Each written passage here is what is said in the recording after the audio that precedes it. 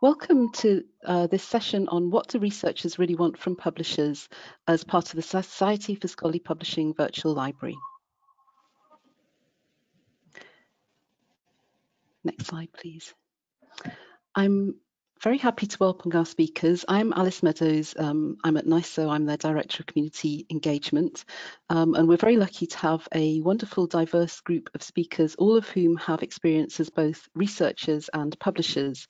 They're going to introduce themselves in a bit more detail in a moment, but briefly we have Ana Heredia, who's at ORCID and based in Brazil, Hasib Irfanullah, who's a consultant based in Bangladesh, Phil Jones, who is also a consultant based in the UK at Double L Digital, Milka Kostic, who um, is a former researcher and publisher and now based at the Dana-Farber Cancer Institute in the USA, and Karen Wolf, who runs the Omohundro Institute in the USA as well.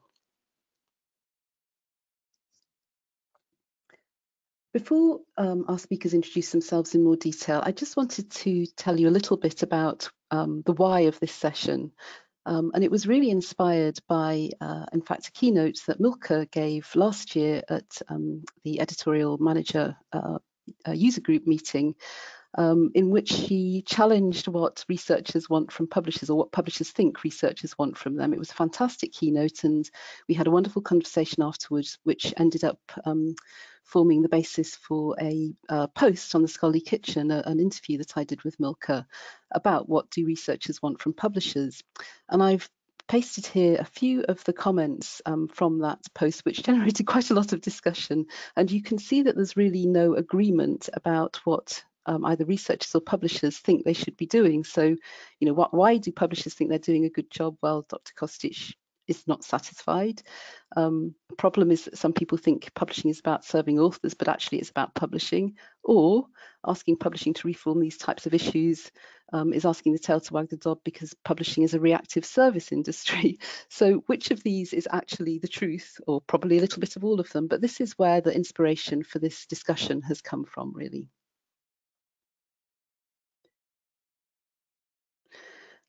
Another challenge that we all wanted to make sure that you were very aware of um, before we plunge into the detail is that, of course, research and publishing are very, very heterogeneous.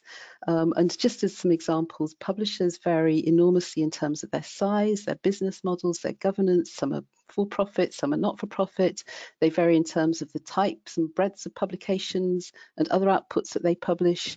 And researchers equally varied by discipline, by geography, by career stage, and they also wear multiple hats.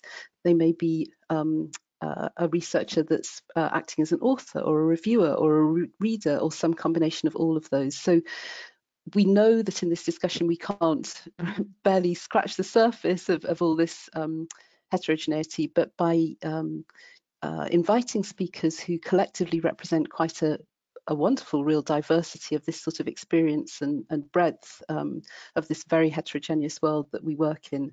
I'm hoping that we can have a little bit, um, do a little bit of unpicking of some of the challenges and, and what this might mean for researchers and particularly for publishers. So I'm now going to hand over to each of the um, speakers to introduce themselves. And we're going to start with Milka because as I say, she was kind of the inspiration for this whole discussion. So Milka, over to you. Hi, everybody. Uh, it's nice to be included in this panel discussion. Uh, as Alice mentioned, I'm currently affiliated with Dana-Farber Cancer Institute, with, where I'm supporting scientists working in cancer research field. Um, prior to that, um, I was at Cell Press for about 10 years, being editor of two research journals there. Um, and I landed in that role directly from being a researcher myself. So over the scope of my career, I wore multiple hats, and I'm currently participating in publishing as a sort of advisor, consultant, um, editor, reviewer, and author. Thank you. Thanks, Milka. And next is Ana Heredia. Yeah, um, thank you. I'm very happy and honored to be part of this panel. Um, I think that uh, it's a wonderful uh, way to uh, discuss and increase and improve the relationship between publishers and, and, and the researchers. Um, so I am a biologist and um, I, um, I uh, after being some some uh, years in research. Um, I had the, the opportunity to um, to be the manager of a journals uh, department uh, at a big international publisher um, where I learned a lot about the other side of things and all the work that is needed to um, uh, to uh, turn a manuscript into a, a, a paper. And um, in fact, I, I started uh, this activity as, as, as a translator. I was doing translations since I was 17, uh, translating uh, different academic and scientific papers. So this was the first, um, my first contact with this with this world, and um, and now I work at ORCID, where I'm responsible for engagement uh, in South America. And uh, yeah, we have uh, we have uh, uh, some kinds of specificities here that uh, it would be nice to discuss in the frame of this panel. Thank Thanks. you. Thanks, Ana. And Hasib, you're next. Uh, hi, everybody. It's great to be on this panel. Uh, I'm based in Bangladesh, uh, Dhaka, specifically its capital. I, I, often introduce myself as research enthusiast. Uh, I have I have uh, I have developed this uh, enthusiasm. I think over the last 15 years or so, because in 2006 I got I became kind of by chance actually became an executive editor of one of the journals published from Bangladesh. Um, and I'm proudly can say that uh, this is one of the only four journals which are included from Bangladesh, included in Journal Citation Report. Uh, but uh, I have never been uh, uh, in any uh, academic position or research position until just last year, when I joined University of Liberal Arts, Bangladesh as a research fellow. But uh, as an environmentalist or conservationist, which is my field, I work in this sector, especially on in climate change. Uh, but I have been doing research as an independent researcher, editing journal as an independent uh, researcher or as a development practitioner. That interest actually translated into me becoming a trainer, uh, mentor in some um, uh, platforms as well as I have been mentoring my Bangladeshi young researcher colleagues, as well as journal editor. I am also involved with uh, INASP, which is an UK-based charity based in Oxford. And uh, mm, I often write uh, mm, newspaper columns uh, and try to uh, increase awareness on research, uh, translation, research impact, as well as how to how to communicate research and I'm one of the chefs of the Scholarly Kitchen. Thank you very much. Thank you. Um, Phil, you're up next, please. Hi, my name's uh, Phil Jones. I started out my career as an academic researcher, so I had a, a pretty, you know, straightforward journey in that sense that I, you know, went to university as an undergraduate to study physics, did a PhD in it, and then went on to do a postdoctoral research fellowship at Harvard Medical School as a biophysicist.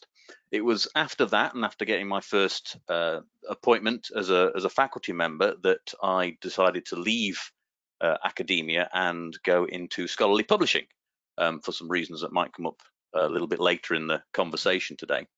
Well, my first job was with a Journal of Visualized Experiments, where I was their editorial director.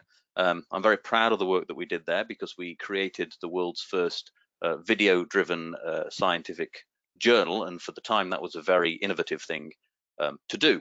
Um, I spent much of my career working at Digital Science as head of outreach and then uh, director of publishing innovation, and I had a stint at Emerald Publishing as their CTO. Right now, I'm an independent consultant. I work on various uh, problem, problems, products, and services in uh, in uh, in the scholarly communication landscape. Everything from infrastructure providers to uh, to companies that are looking to either create new business models, uh, new ideas, and even startups. Um, in the wider community, I, I'm a chef for the Scholarly Kitchen. Um, I write for that occasionally. I, I'm also involved in uh, the SSP annual conference uh, committee uh, the Researcher to Reader conference, and, uh, and, most recently, actually, I've been involved with uh, Karger Publishing with their Vesalius Innovation Award, uh, which I thought I'd just kind of drop a, a small plug in there if you're interested in that. But that's me. Thank you. Thanks, Phil. And last but not least, Karen. Thank you all. It's so nice to be here. So um, I am, my name is Karen Wolf. I'm the executive director of an, uh, the Omohundro Institute of Early American History and Culture, and I'm a professor of history at William and Mary. And I love uh, Milka's uh, visual of the many hats. I love all of the many hats in many directions that uh, my colleagues here have included on their slides. I certainly um, share their um, multi-perspective um, experience as a professional. I'm primarily I'm a historian. I feel like that's what I bring to almost everything I do. I do teach graduate students, um, but also as the executive director of this institute, I'm a publisher and a funder and a convener um, within the field of early American history. I'm also a blogger for the Scholarly Kitchen, um, and I do some other service um, in the scholarly communications sector. Great. Thank you all. So I hope those of you listening in will agree that, um, you know, as I said, we can't be completely comprehensive by any means, but I really do believe that um, our speakers represent a wonderful diversity um, of, of uh, experience and expertise. So we're now going to switch. We have three questions that we're going to ask um, our speakers. Um, the first of which is, as a researcher or former researcher, why did you choose to enter the publishing world? And I'm going to ask Karen this question first because she actually still wears both hats very firmly, as she mentioned. Um, so you haven't really made the made a made a move in either direction. So maybe you could start, Karen, by letting us know sort of what it is, I guess, that appeals to you about the two different worlds that you work in or that you find challenging. Thank you. Um, well, I think um, Milka referred to this, um, you know, in your uh, original conversation with her, in your interview with her, which is that researchers, when they are really engaging with public research, both as, as uh, well as authors, um, but also as readers and consumers of that of that literature. Um, and I think what's interesting to me is that in the humanities, um, the relationship between um, the researcher and publishing is somewhat like that. We have this, we are in the same process because humanities publishing is very much part of a research workflow of considering work that is ongoing in conferences and seminars and so on, that the research, the publication output is really just one stop in this much more fluid system. So in one way, I'm not really wearing multiple hats as a researcher and a publisher. It's the same hat. Um, not very many people in my field are doing it quite as explicitly as I am, um, but many of us are acting, um, you know, as peer reviewers. That's true throughout the sciences as well, but also acting as editors for not just editors within a larger, um, you know, publishing entity, but as editors of independently published um, journals. So many people in my field have something like the experience I do, which is that we really have a grasp of the fuller process of which we're a part. And I think that whole process is what's so exciting. And I can't wait till you ask us the question about what we want people to know, because I'm going to come back to the full process point. Okay, excellent. So I think this is a nice segue over to you, Hasib, because you're the other one of us all uh, who is still working as a researcher and also a publisher. And like Karen, you edit a journal. So um, could you tell us a bit about why, I guess for you, you chose almost to enter the research world from the publishing world? Yeah, uh, Mm, uh, I, I, found uh, for many of us, as, as it happened, uh, 20 years back when I was uh, doing my master's, I became interested in research and I thought that I will build up a career as a researcher. And I did my PhD and came back in 2004. All of a sudden, there was a uh, there was a there was an opening of becoming journal executive editor of the journal that I mentioned, Bangladesh Journal of Plant Taxonomy it was I was quite uh, young back then, so it was uh, quite an amazing uh, uh challenge as well as excitement.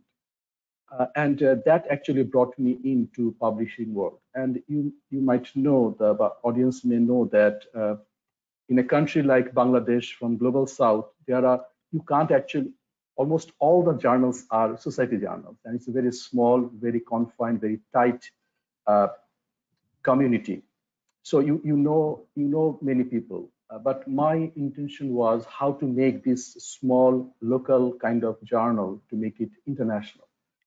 That actually uh, made me to become more interested in publishing as a whole. Uh, and uh, that actually brought me into why don't I learn and as well as in my own way try to influence uh, you can't influence the uh, many many of the senior colleagues but why don't i uh, invest time in mentoring young researchers that actually that shift that interest grew uh, although and i continued being an mm, independent researcher so i'm still i believe i am uh, mm, so that's how uh, i started as a researcher became a, a, journal editor or publisher, you may call it, and continue mm, being a researcher, as uh, Karen rightly said. You can't actually uh, differentiate that which, uh, that's why I put uh, seven hats uh, in the cartoon that I just uh, posted in my slide.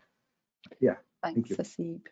And Milka, you started as a researcher, moved into publishing, and have kind of moved back to support researchers in your current job, I think, haven't you? So how did that, how did those moves happen? What what what was motivated you to sort of move from research to publishing and then into a sort of more of a research-based position? So um, what motivated the first sort of career transition from a research into publishing uh, was a realization that some of the interests I had uh, and some of the skills that I've built over time were more appropriate for uh, a full-time position in a role of a scientific editor than a uh, researcher.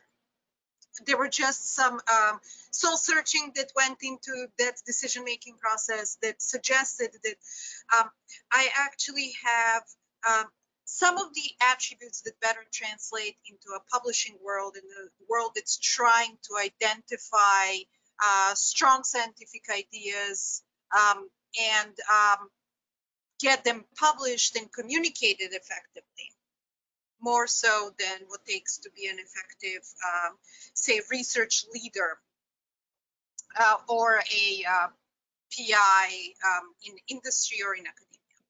So that kind of went to the first career transition where I joined Cell Press. Um, and Cell Press is one of the handful, I would say. So it's a minority publishing group that employs full-time editors. These are people that make scientific decisions um, on uh, manuscripts. Um, and those are the people that guide the peer review process from start to finish um, full time as opposed to most of the journals that um, are guided by um, usually um, people that have their independent research careers in, the, in industry or academia and then part-time are involved in guiding journals as editor-in-chiefs or uh, associate editors and things like that. And then my second career back to research um, happened because I was looking for as people sometimes do, um, to take myself yet again out of the comfort zone and um, learn something new and do something new. Um, and since I remained very close to the research community, given the type of uh, editorial role I had, uh, it was basically just sliding back into the research community I was close with anyways. Um, and what I'm currently trying to do um, as a part of my responsibilities is um, basically just help a lot of people that are at the very beginning of their research careers uh, navigate some of the complexities of the current um, research, publishing, evaluation, grant system that we have. In place. Well, we're definitely going to come back and talk a bit more about that. Um, but first of all, Ana, I think your career has in a way um, somewhat mirrored Milka's. So you started as a researcher, then moved into publishing, and now you're working in research infrastructure, sort of supporting researchers from that perspective. Can you tell us a bit about your sort of decision making along the way? Sure. I have to, to begin saying that I was always uh, divided between the biology and uh, what we call here in, in, in Brazil or in Spanish, in Portuguese, the letters, right? Which is writing, reading, and uh, this um, this proximity with uh, with the yeah with print, right? With books and and articles. So this was at the beginning. I was thinking which way I was going to take, and then I decided to move forward with the biology. And but as I said before, always working as a translator. Uh, every time that I needed a little bit of money, that I needed an extra money, I, I translated um, mainly uh, academic and scientific uh, papers. And this was, for me, this was very, uh, very grateful um, contribution uh, to the to the scholarly communication. Uh, and I never stopped doing that, right, until I, I, I get a, a formal job. Um, so the passion for scholarly communication began as a translator. And, and then I decided to pursue in research. And while all my colleagues uh, didn't like to write their papers, didn't like to write their thesis, for me, this was the most um, rewarding moment because all the pieces of the puzzle, all the pieces of everything that you've been working for for years sometimes, uh, finally got a form and, and made sense. So um, this also was a, a very nice um, finding in the process of, of doing research. And then after several years doing research, uh, I, I specialized in ants behavior. Um, and uh, this was always my, my passion. Uh, but I decided to join, uh, to, to make a change like Milka, like, you know, get out of the comfort zone and uh, and uh, experiment other things. In my case, I really wanted to to experiment the other side of things, and so I took a, the opportunity of joining um, Elsevier in Brazil, and um, where I had several different positions. Um, uh, some positions into the um, marketing and sales department, where I realized that writing an article a scientific article is a piece of marketing, right? Somehow uh, we need to write it in a in a in an appealing way. Um, it's like you, your paper is disputing in a pile of papers to be read first, right? And to be cited first. So you have to have a catchy um, title, and and you have to think about several things to engage the the reader. So um, in this, so at was I had the, the possibility, and this was I think one of the most interesting experiences in my in my career. I had I had the the, the, the possibility to manage a journals department at a national level, and it was uh, very very interesting to see and to and to work with all the people involved in all this process, uh, the authors, uh, the, the, the editors, the translators, the the, the, the print process, and uh, the indexing all the process of indexing a journal, cr creating a journal, because I, I, had the experience to advise a society to create their first journal. Now it is indexed in, in, in, in, in EASY, in ISI. So it's a this is a, a very important thing that I, I, I helped him to, to build a journal. So yeah, um, that's great. This is and, and now yeah, and now I'm at ORCID working with research infrastructure. Perfect. Thank you, Ana.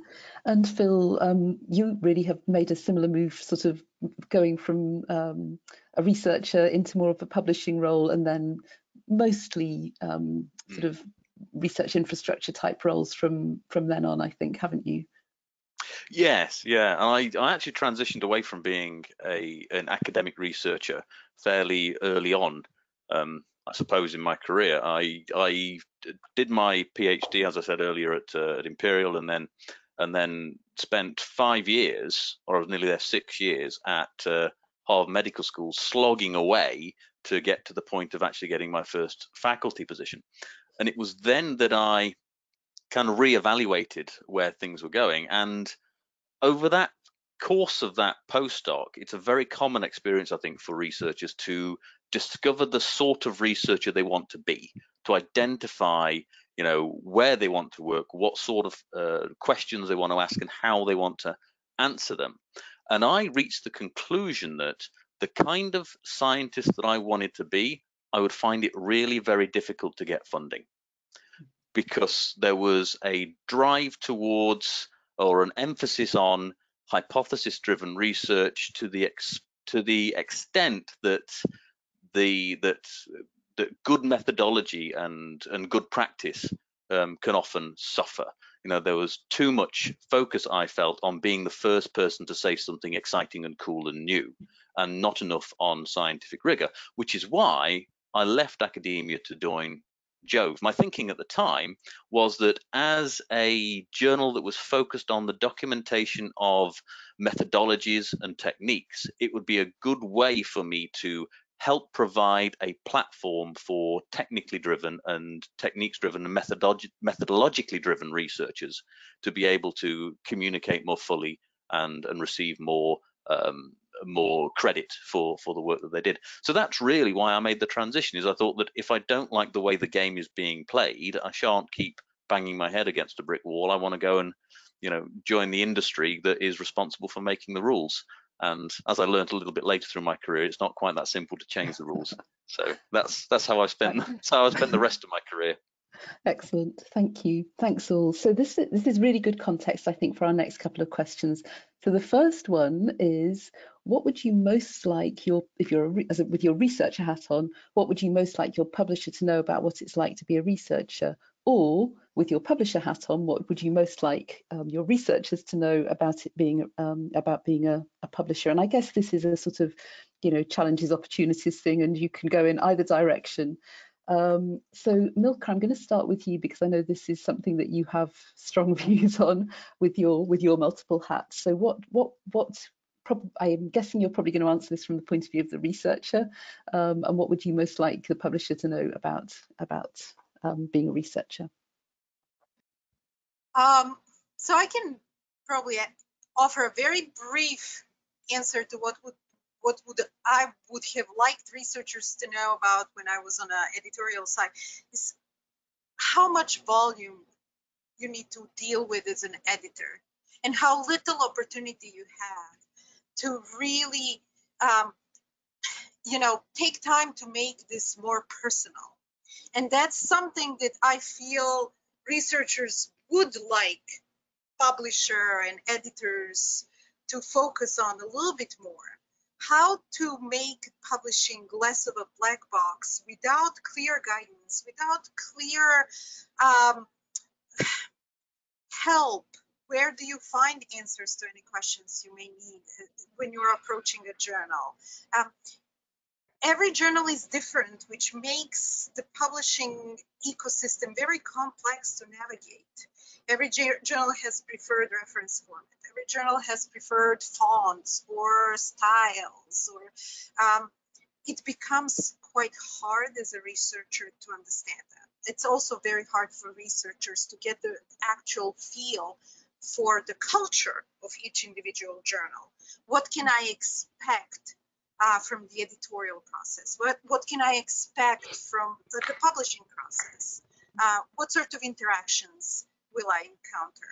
Um, that is very hard for early, especially early career researchers to appreciate, and it makes a huge difference in how the whole publishing experience goes for them. Um, so if publishers can do one thing is perhaps think about how can we be more similar than different?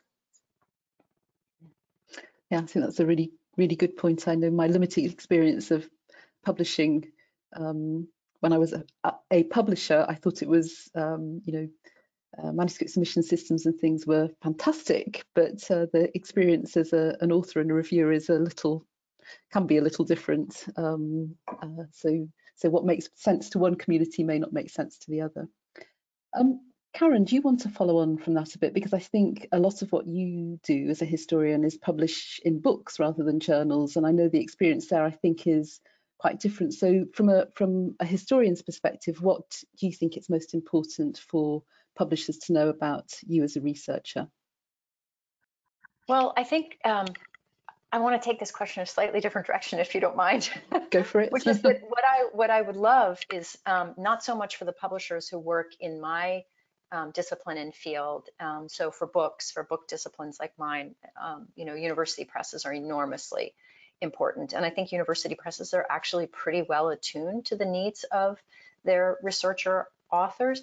I think um, what I would love is for publishing as a whole to just have a better grasp of how differently fields and disciplines function so that publishers don't make assumptions about how the work that they do in biomedical, you know, actually can be um, can be assumed to relate to or to be applicable in any way to other fields. I think that's an enormous problem actually, and it's a problem downstream for researchers because sometimes when giant publishers who are more attuned to working in, um, in STEM fields then start to publish in the humanities, they import practices that just aren't functional really for narrative-based, argument-based, um, close textual work kinds of um, disciplines.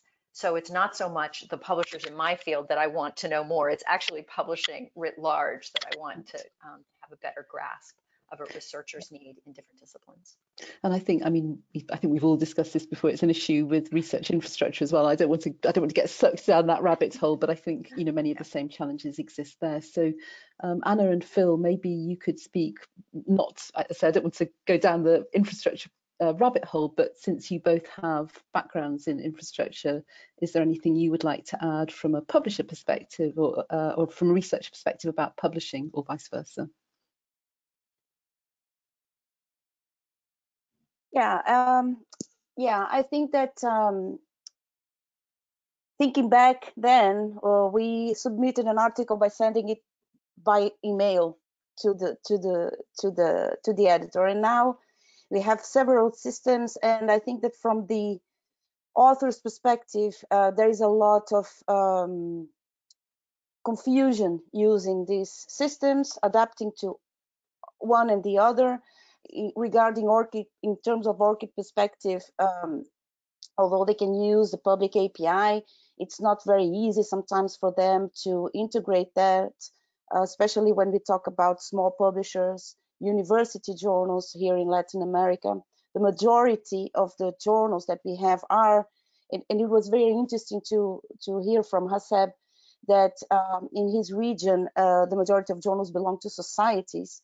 I would say that in Latin America, the majority of journals are linked to universities, mm -hmm. meaning that um, meaning that the person who is running the journal is a researcher, uh, a research administrator, uh, you know, uh, uh, all the heads at a time, and he and this person can only do this part time if if uh, so. Small journals struggle a lot with submission system, with infrastructure, and with all the best practices uh, mm. that are internationally uh, recognized.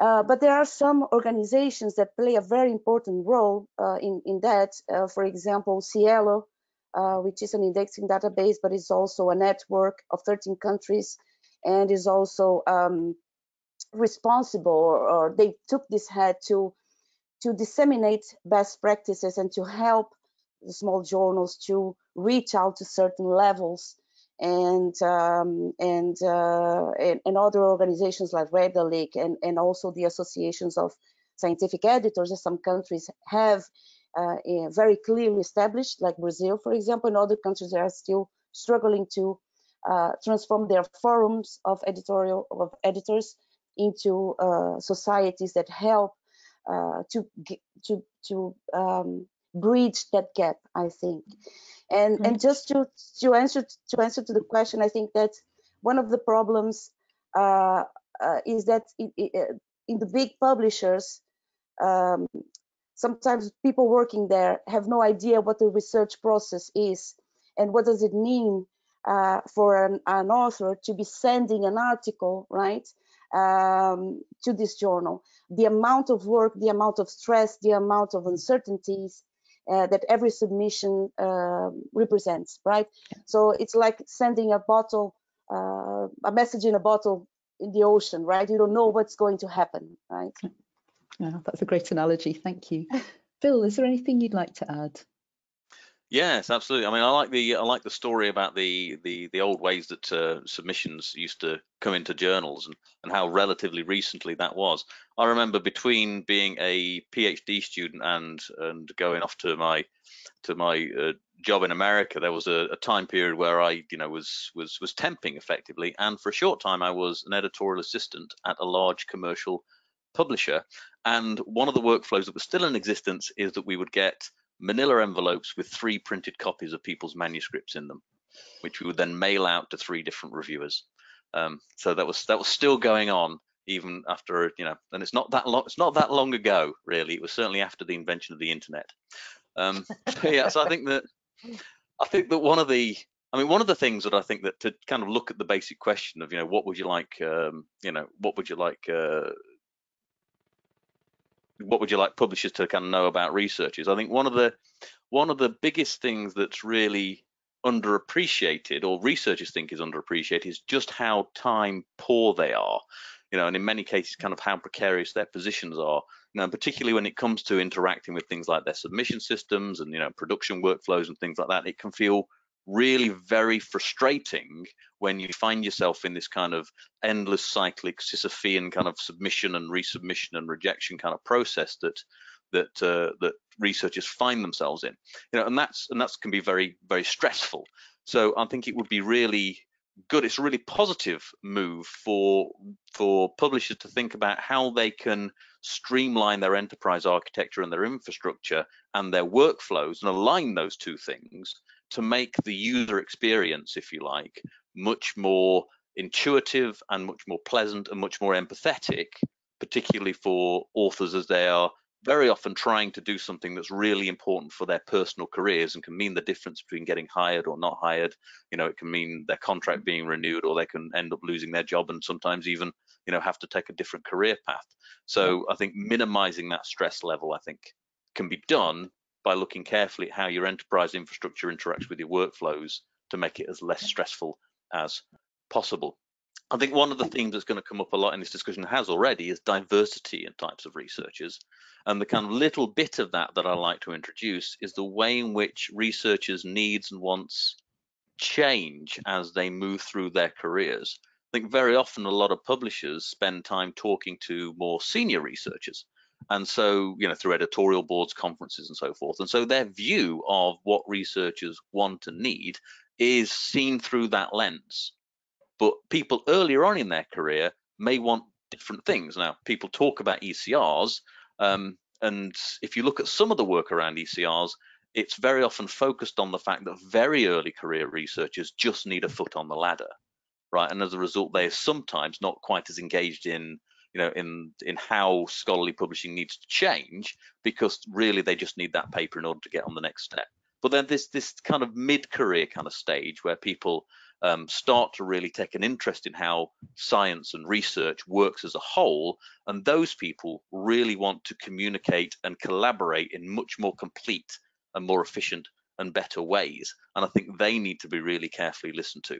Um, so that's the so that's the thing that i would say is kind of look at how needs change and it's not just ECRs versus senior researchers there's there's several stages kind of along the way Thanks. All right, so in the interest of time I, I won't talk so much about what I think researchers should know about publishers I'll, I'll let us move on Thank you. And yes, Hasiba, I'm going to come to you in just a minute um, because I think um, Phil's point about diversity is well made, and I think that there are probably, um, you know, similar challenges when you're working in the global south but i know karen you have to leave in just a minute so i wanted to just give you the opportunity to um, say any last words or answer briefly the last question if you would like to before you go um, so I, I, could i just uh, what is do you have the last slide up there alice is that what you uh, wanted to shift to? Well, yes, whichever you want. I mean, I just really wanted to give you the option to.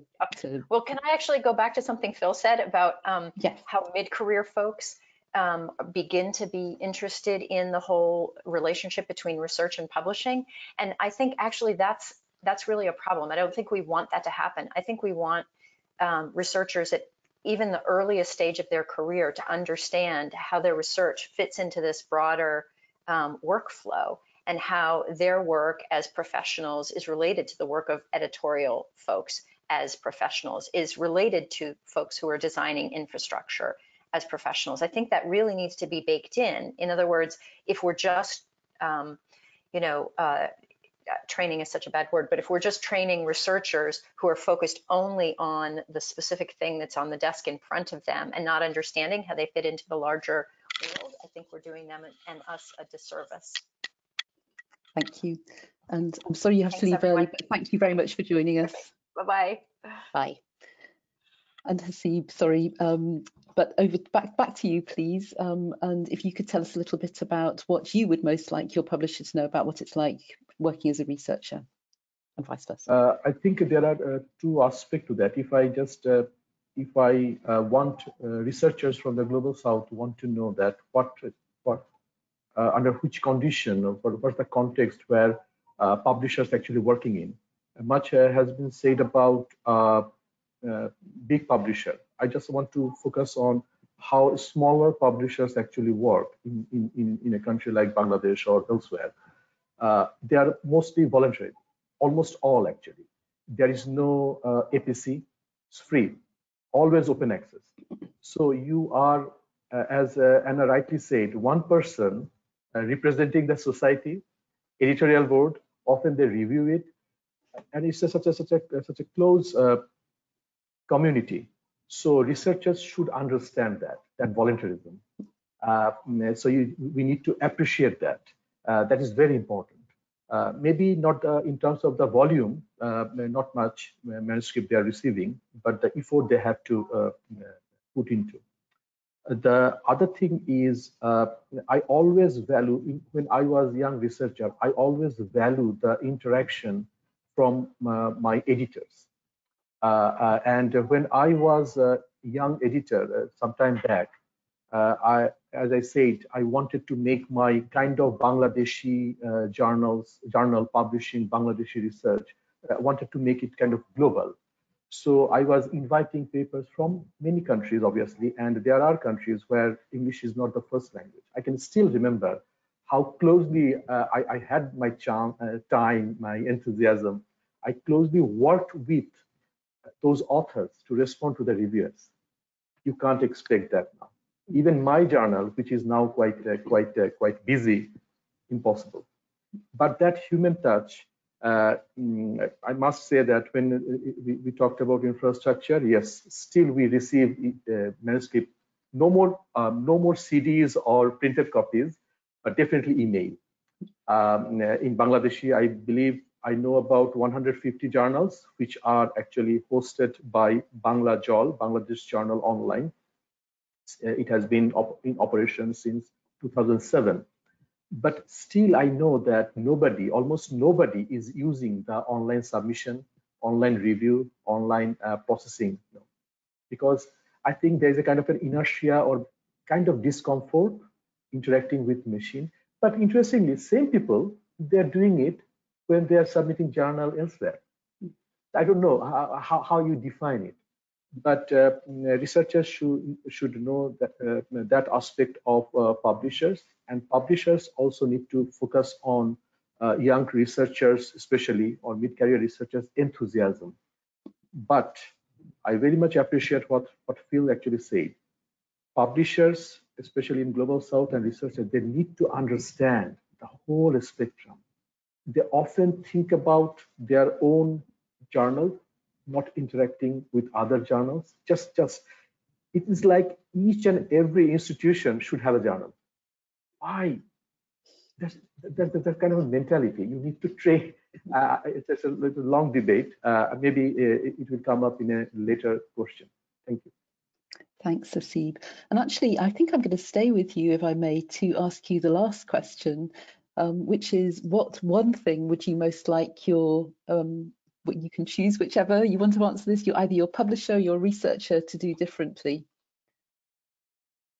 Uh, i think i would uh, I, I would omit the slash between publisher and researcher.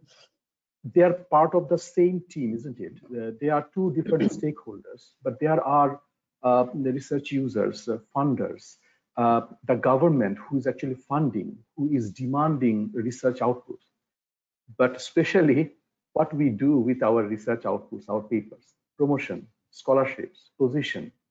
Uh, so how universities or university commissions, I mean the, the whole decision-making body, they are actually valuing those research outputs. Uh, still in Bangladesh, number counts, I'm sorry to say on record. Uh, it is not the quality, but the number. Uh, so it's it's putting an undue pressure uh, on researcher, at least uh, from my personal experience. So my comment would be publishers and researchers, they need to understand they have to work together to make it comfortable for both stakeholders. Uh, uh, and I would uh, lean into making early career researchers' life more comfortable or more acceptable. And uh, definitely they need to understand the reality. But uh, sometimes I feel like it's just a mad world. It's crazy. Yeah. So I, I want them to work together. That's a, I think that's a great point. Um, so working as a team is one thing, that uh, seeing each other as being part of the same team is a, is a is an excellent thing. Ana, what about you? Um, you ha you have a um, you know also a global South perspective. Do you would you echo what Haseeb said? Is there anything else that you would like to see publishers and researchers doing differently? Yeah, I uh, I uh, I agree with Haseeb. I think we have uh, specific challenges in the global south I would like to jump into something you just said about the English, right? Uh, uh, the fact that uh, most researchers are not English speakers or English um, used uh, people makes the makes it, it, difficult for them to interact with the submission system, to understand what is being required and, and what is being required and, and why, to interact with the editor, right? to go through the peer review process where you have to understand what the reviewers are saying, that you have to reply to that. So I think there are many barriers and and one of the barriers I would like to address is the fact that non-English speaking authors, of course, have maybe uh, less quality papers, let's say, because the message is being, being conveyed in a language that is not theirs and and this accounts for a lot when the editor receives a paper um, uh, where it's not well written, uh, you don't the, the, phrases are truncated or something like that. They just refuse it right away, right at the editor step. It, it, it doesn't even go further in the process. And and of course, uh, uh, uh local journals uh, spend and authors spend a lot of money on these translations to make sure that this this this step is overcome right but there's still this point which is very important and another one is how um, how likely is a, is a paper to be published in a big journal an important journal if only global south researchers are in the authors mm. right when there is not a, a one big personality of the global north included in the co-authors I, am just leaving this as a provocative. Yeah. no, no, no. I think it's a really good point, and I think um, Phil, I'm going to move to you next because you already raised, I think, the diversity issue, and this is very much part of it, isn't it? Yeah, absolutely. I mean, just to add a little bit of weight to that, I mean, um, I'm sure that Don Samolak won't mind me um, paraphrasing him and and kind of hopefully not misquoting him. He was. I remember having a conversation with him a while ago about authors in some regions um, receiving uh, a letter, an acceptance letter from a journal uh, with you know an English language journal and finding the language so esoteric that they're unable to tell whether the paper has been accepted or rejected. And I think that's a really important thing to take notice of when we look at things like um, like the wording in editorial decision letters and we look at instructions for authors one thing that I note about instructions for authors is when I was a researcher, I never read them. Don't read them, right? The way that you figure out how to submit to a journal and what those and what that paper should look like is you talk to somebody in your department, usually your boss, who has published with them before and they will say, oh yeah, it's you know it's use EndNote and it's this particular you know citation code to generate the right sorts of citations and you know and, and this is you know you look at the paper you know perhaps and look at the order of the headings you don't actually look at the instructions for authors and pick through it right there's a lot of there's a lot of um, you know tacit knowledge about how to interact with the scholarly publishing system of the global north that we take for granted. You know, one of the things I always used to say is, you know, it's it's one of those things that you've known so long you've forgotten you learnt it.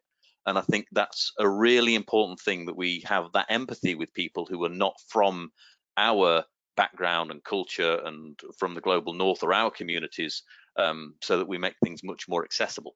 I think you know part of that is possibly you know road testing you know in the way that um, you know agile product development is done.